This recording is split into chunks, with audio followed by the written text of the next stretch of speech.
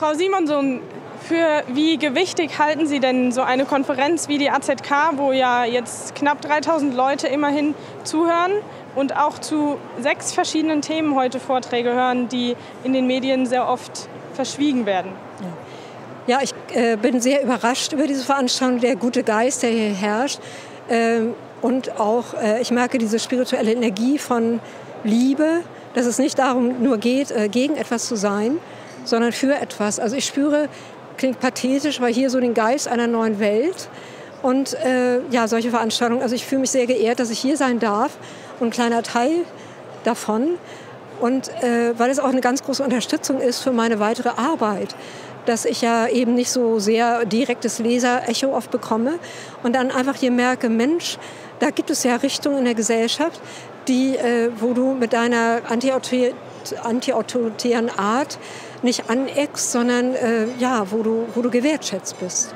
Finde ich sehr, sehr wichtig. Und dann auch die anderen Referenten kennenzulernen und diese vielen, vielen jungen Menschen, teilweise auch Kinder. Aber das ist ja, da sind ja fast die jungen Menschen in der Mehrzahl. Also das finde ich ein sagenhaftes Phänomen. Und ich bin auch christlich äh, orientiert.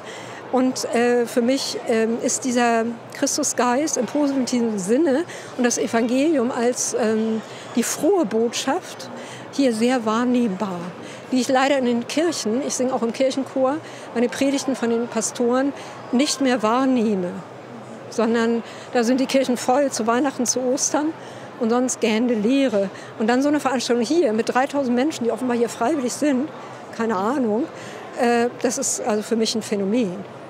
Gibt es in Ihren Augen drei ganz klassische Merkmale, an denen man erkennt, dass ein Mensch heil ist? Also ich glaube, so richtig heile Menschen gibt es überhaupt nicht mehr. Äh, für mich richtig heil sein heißt erleuchtet, erwacht sein. Ne? So. Und davon kenne ich jedenfalls persönlich keinen. Vielleicht ist es der Dalai Lama, vielleicht ist es Eckhart Tolle, aber die sind ja sehr, äh, sehr, sehr äh, gering gesät sozusagen.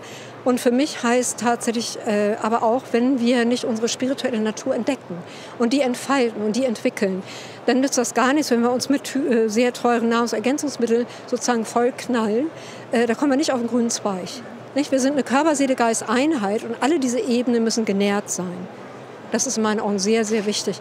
Und das wurde hier schon mal äh, benannt und auch dieses wunderschöne Lied über Liebe, dass Liebe die stärkste Kraft im Universum ist und die Lösung für alle unsere Probleme.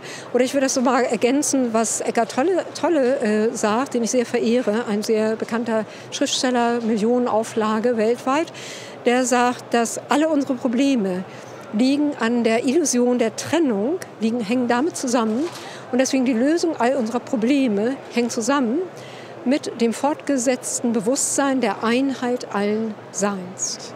Und wenn Sie jetzt der ganzen Menschheit diesbezüglich drei Ratschläge geben könnten, wie man am besten ein gesamtheitlich heiles Leben führen kann, wie würden diese lauten?